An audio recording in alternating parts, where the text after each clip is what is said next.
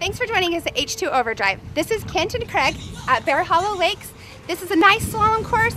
Kind of scared a little bit to do it, but this is what skiing is really about. There's no reason to be scared, Brooke. So what, what slalom skiing is, if, if you go through the course, there's six buoys, and the goal is, is you want to be able to go around each of the buoys and enter out the other end. And so the goal right now for you is you want to you want to go out there on your slalom ski and you want to be able to go effectively around the buoys and have a good time. Okay, so I've only skied a little bit. Okay. This is my first time on a slalom course. So do you think I can do it? I know you can. Awesome. Let's do great. it. Okay, let's do it.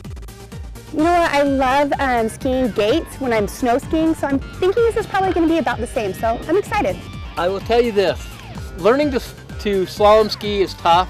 Learning to go through a course is even harder. Anything Darren does, I'm going to do it better.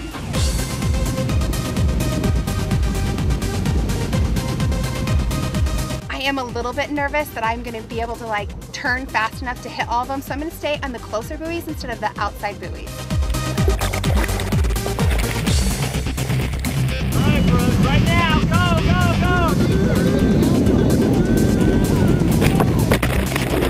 She's doing good. She uh, decided just to go for the whole the whole course rather than the short course. Well, it just looked good at the time.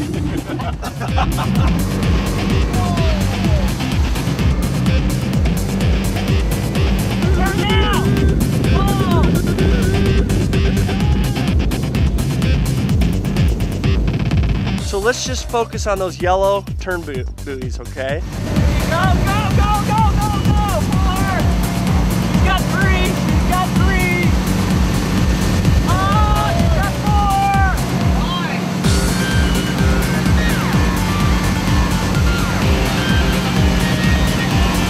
Okay, so all of a sudden you're up and you go through the green buoys and then you can choose the yellow or the orange ones, so like the further out ones or the inner ones.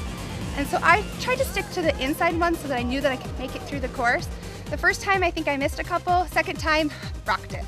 I want to thank Kent and Craig for letting us come up here today to Bear Hollow. You can check them out on bearhollowlakes.com because this course rocks. I want to thank Marine Products for this awesome radar ski. I really enjoyed the ski. It was really comfortable. Never skied on one before. So thanks Marine Products. I'm Brooke Pater and we'll see you again.